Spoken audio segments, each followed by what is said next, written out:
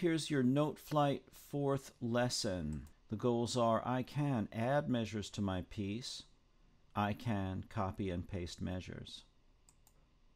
Now logging in in the right place is very important. And what we're going to do is we're going to either create a new score or we're going to keep developing a score you've started and that's right there when you log in and you can click my scores for a list of your pieces. Here is my harmonized stepwise melody that I'm going to develop. And look what happens when I select the last measure. I see an arrow to play the measure, a minus sign to delete the measure, and two plus signs.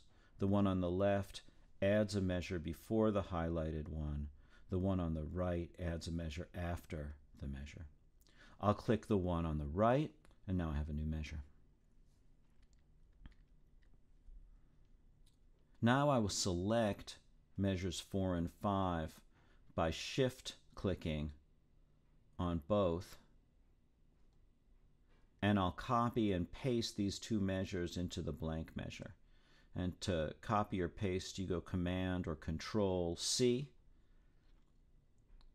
and then highlight measure 5, the one after the two highlighted measures in this slide, and then Command or Control V. And now I have the two measures that are added to the end. So I've picked a different piece. I'm going to select that and then I'm going to push down shift on my keyboard and I'm going to select that too. And then I'm going to go command, copy. You could go control copy. And then I'm going to select these next two measures and I'm going to do command or control V. And now I have a copy of that. And now I'm going to do it again. And now I'm going to do it again. Hmm. this is what I've done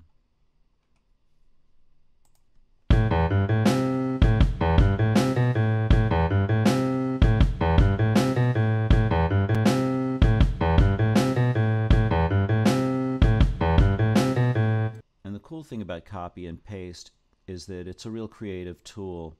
There is so much repetition in music itself that to be able to make an exact copy of a bit of music you've created and give the listener a chance to hear it more than one time definitely makes it more memorable in their mind. And you can then change those repetitions just a little bit and make slightly different endings to the repetitions and that's a really good way to compose. When you've pasted a couple measures, you can save, you can share, you can title this copy paste practice. Your piece isn't necessarily done, but you are with this assignment if you can log in, create a score, add notes, change durations, share a score.